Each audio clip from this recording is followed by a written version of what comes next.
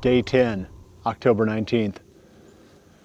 The rain just went through about a half an hour ago and the sky is starting to clear up here.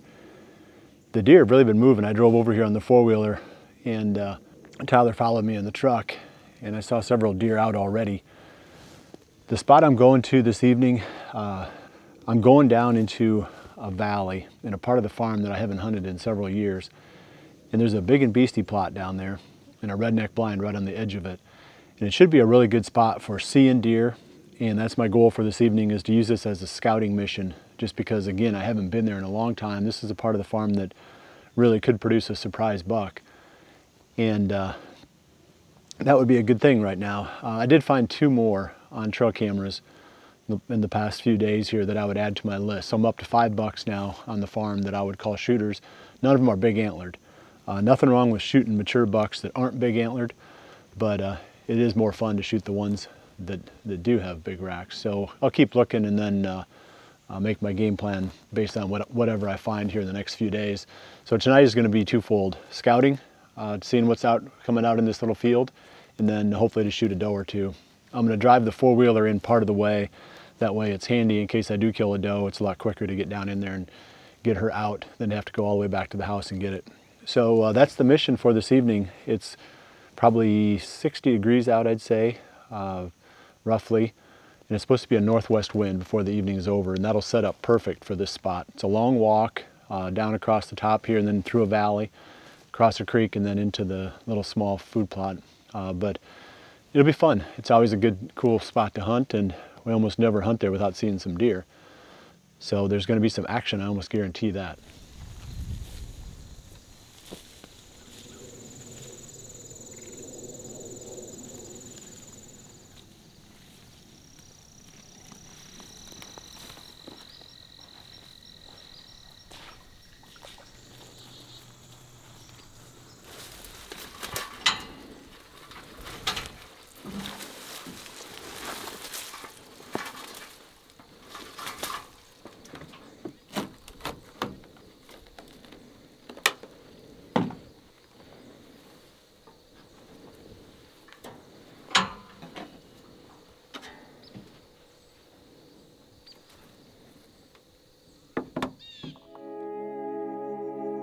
Realtree's Midwest Whitetail is brought to you by RK Tractors, Ozonics, Redneck Blinds, Wasp Archery, Spot Hogg Releases, RTP Outdoors, America's Best Bowstrings, Hooyman Tree Saws, and Realtree.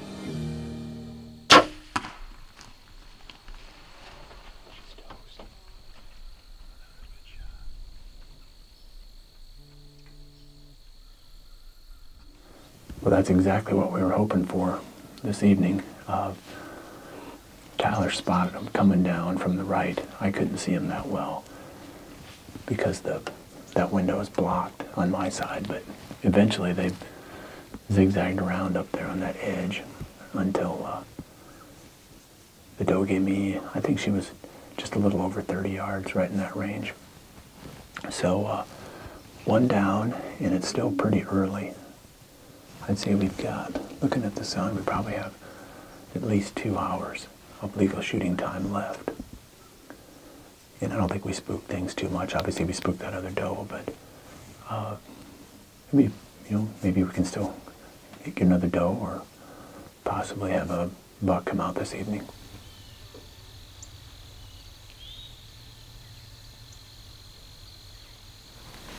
I've got, looks like three does and a fawn out in front of me. But they're checking out that doe that I shot.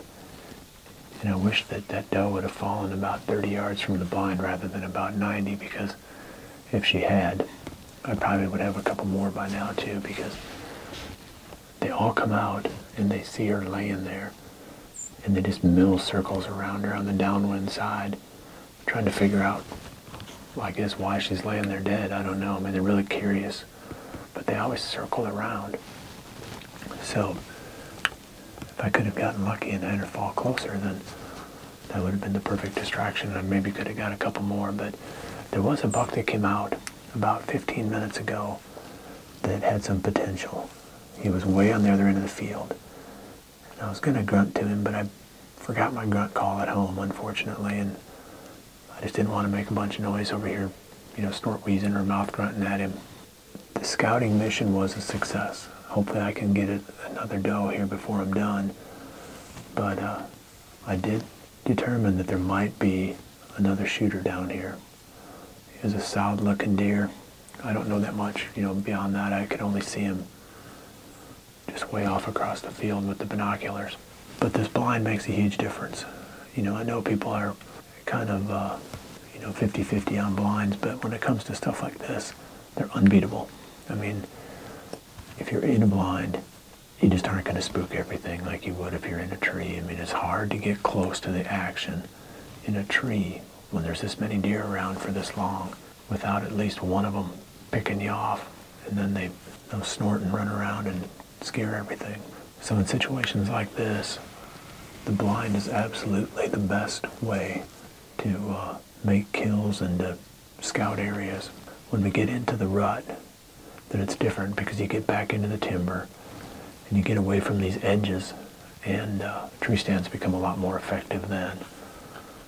So there's a, there's a time and a place for everything. Right now, sitting on these little fields like this, the blind is for sure the way to go. But uh, pretty soon, within the next few days, that's going to change.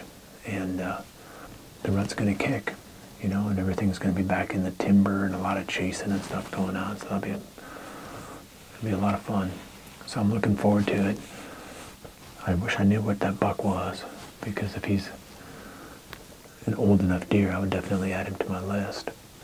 Anything else that we see in the rest of the evening's hunt, we're going to tag it on the end of the video blog here. Uh, I do plan to hunt tomorrow evening. I'm going to probably try for one of the bucks that I've got already lined up that I've picked, you know, for potential shooters. So it's time to start buck hunting.